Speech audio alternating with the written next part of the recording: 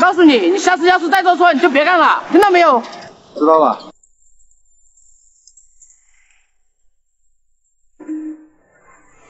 知道了妈，你和爸在外面也要注意身体。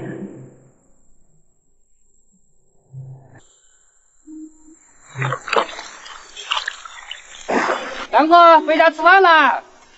啊，等一下，马上就来。今天礼拜六财务不上班，礼拜一再来接。哦，好吧。杨哥，刚才你在办公室门口干嘛？想一直点钱给我老公过生日，但是财务不上班今天。不是才发工资吗？就没钱了？前几天老丈人生病住院，钱不够，我钱转给他了。这样啊？那你老丈人好一点了吗？嗯，好了，昨天都已经出院了，这事我都不敢跟我老婆说，怕他担心了。像个顽皮的孩子。杨哥，我这里有一千，你先拿去用。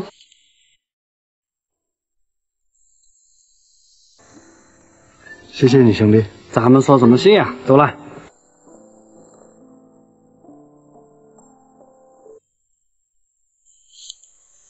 老婆，今天是你的生日，现在晚上天气比较凉，你等下自己去买件衣服穿。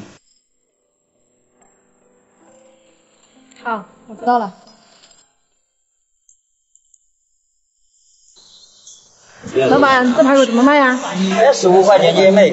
那你给我称一点吧。啊，好的好的。是记忆里有味道的风景，不是操场传来传的声音。多少年后也还是很好听。让愿望着这飞机低着心。因为我们等不到那流星，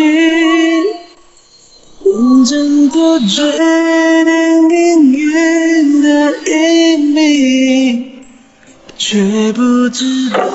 老婆，我回来了，外面好冷哦。赶紧过来看我。这是你买的新衣服呀？嗯，是啊，你快试试。你的衣服我怎么试啊？那是我给你买的。